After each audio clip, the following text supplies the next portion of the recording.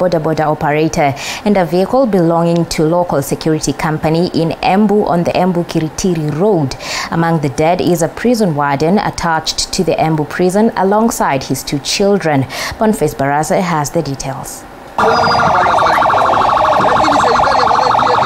The prison warden attached to Embu prison alongside his two children and the bodaboda operator breathed their last just a few kilometers from their homestead after a bodaboda operator that was ferrying them lost control and the motorcycle was involved in a head-on collision with a vehicle belonging to a security company. Tumepoteza watu waine, vijana wetu wa boda, mama na watoto wawili. Tungeuliza serikali ituwekee bambu hapa Matakale juu ni watu wengi sana wamepoteza miili yao hapa, ili maaksidenti ziweze kuisha hapa. Ile tungeomba kwa hii barabara zile gari zinatoka pande ya tauni zinaingia mbio sana, zile zingine zinatoka pande ya majimbo zinaingia mbio.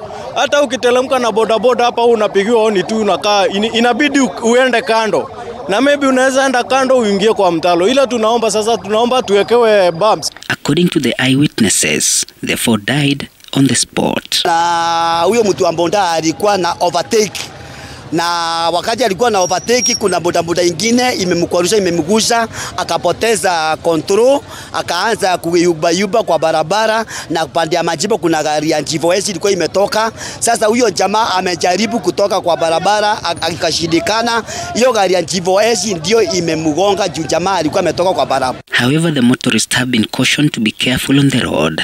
Mwito wangu kwa uh, madereva ni kuwa wakati huu, hasa wakati ambapo tunafungua shule, wanatakana kuchukua tahadhari kubwa sana wakati wanabeba uh, uh, watu kuelekea kazini, shuleni na kadhalika. The bodies of the deceased have been moved to the Embu Referral Hospital. This comes barely two days after 14 sita matatu traveling from Bungoma to Nairobi was involved in an accident at Msembe Lugari claiming the lives of at least eight people who were in transit to Nairobi. bonfas Barasa, TV47.